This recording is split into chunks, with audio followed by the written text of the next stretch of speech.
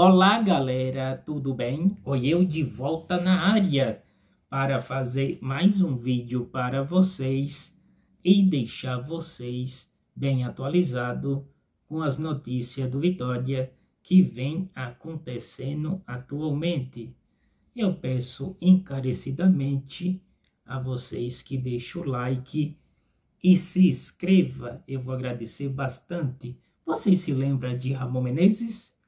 Ramon Menezes falou assim: Eu não, eu não fui bem no Vitória, mas fico feliz de, ter, de eles terem conquistado esse grande título. Então, Ramon Menezes não conseguiu dar esse título ao Vitória, mas ele fica feliz em ter conquistado esse título, do, o, o time do Vitória. Então, Ramon Menezes, para mim, com Max Biancucci, Max Biancucci não, com é, Petkovic, foi um dos maiores jogadores do Vitória. Para mim, os maiores jogadores, Petkovic, Bebeto e Ramon é, Menezes. Teve Viafra, outros jogadores também, mas para mim esses foram mais especiais. E para vocês, qual foi os jogadores mais importantes?